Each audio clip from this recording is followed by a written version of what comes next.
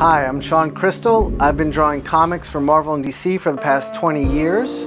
I'm, I was also an art educator for about 10 years, and I now have a business called Inkpulp Instruction where me and several other artists are teaching you how to be better artists, especially in the field of comics.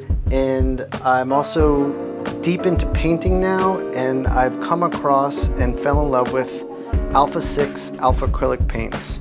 The pigments are amazing. The uh, color selection is right up my alley. If you like strong acrylic colors that pop and are vibrant, these paints rock. They lay down great, they dry great. Use them thin as transparent washes. They're perfect. Use them thicker.